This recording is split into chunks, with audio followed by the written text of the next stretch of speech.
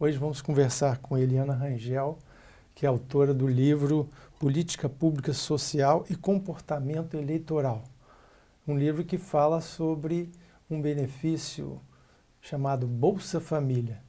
É, é um estudo que foi feito na sua dissertação de mestrado, em que a Eliana Rangel coloca é, uma avaliação desse instrumento. Esse livro foi editado agora em 2016 e lançado em Nova York. Eliana, obrigado pela sua presença aqui. É um prazer, eu que agradeço.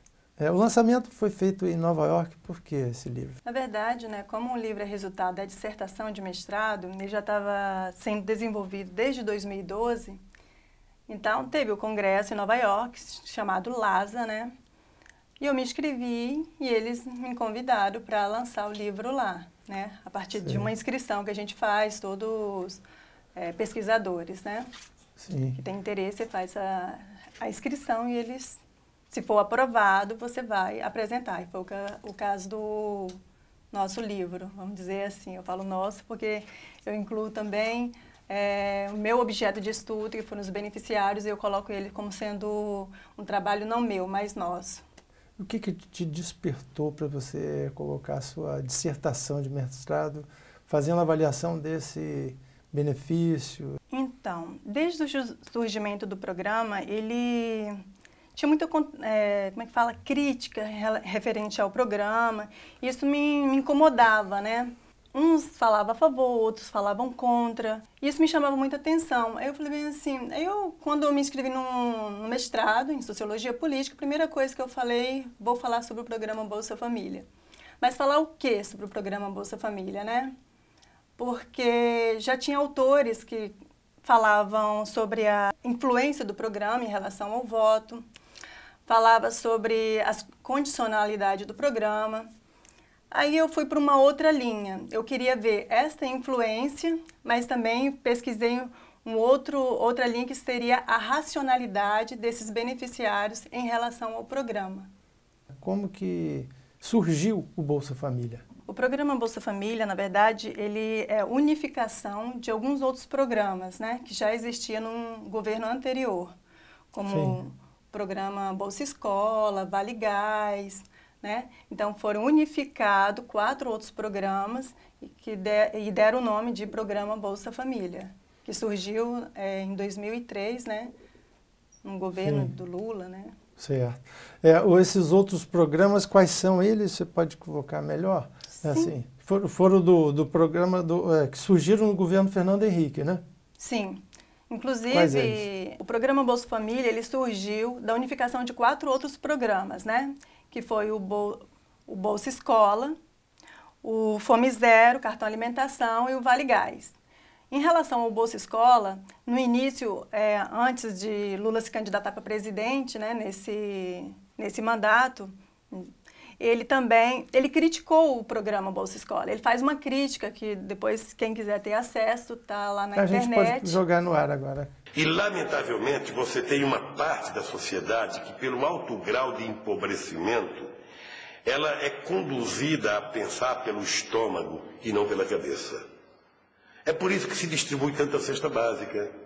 É por isso que se, se distribui tanto ticket de leite. Porque isso, na verdade, é uma peça de troca em época de eleição. E assim, você despolitiza o processo eleitoral, você trata o povo mais pobre da mesma forma que Cabral tratou os índios quando chegou no Brasil, né, tentando distribuir bijuterias, espelho para ganhar os índios, ele distribui alimento. Você tem como lógica manter a política de dominação que é secular no Brasil. Mas mais tarde, né, ele aderiu, trouxe o programa e fez a unificação. Mas nesse vídeo aí a gente percebeu que ele faz uma crítica chamando esse programa de Bolsa Escola como eleitoreiro, né? É, ele faz essa crítica, mas mais tarde você vê que ele traz o programa, né? É até meio controverso. E muda de nome, né? E muda de nome, já não mais como Bolsa Escola, que era uma outra proposta do Cristóvão Buarque, né? Que também ele faz outra reportagem sobre isso. Vamos jogar no ar também essa declaração do Cristóvão. O Lula primeiro já era contra isso. Não aceitou quando eu levei no governo paralelo que ele criou. Não aceitou a ideia. Depois de um ano, foi convencido que a verdadeira maneira de erradicar a fome no Brasil era dar dinheiro. Na África, jogar comida de, de avião. O Brasil estão cheios os, os, os mercados, basta botar dinheiro. Aí ele aceitou a transferência de renda, mas fez três erros gravíssimos. Um, mudou o nome. Uma coisa é a mãe receber o dinheiro dizendo, eu recebo porque meu filho estuda. O outro é ela receber dizendo, eu recebo porque eu sou pobre. Segundo, tirou do Ministério da Educação, onde Fernando Henrique colocou, que eu editei, implantei no DF, mas o presidente Fernando Henrique pegou a ideia e levou para o governo nacional. E teve uma generosidade política rara, mas teve um nome que eu tinha criado. Isso é muito raro. Mas teve Bolsa Escola.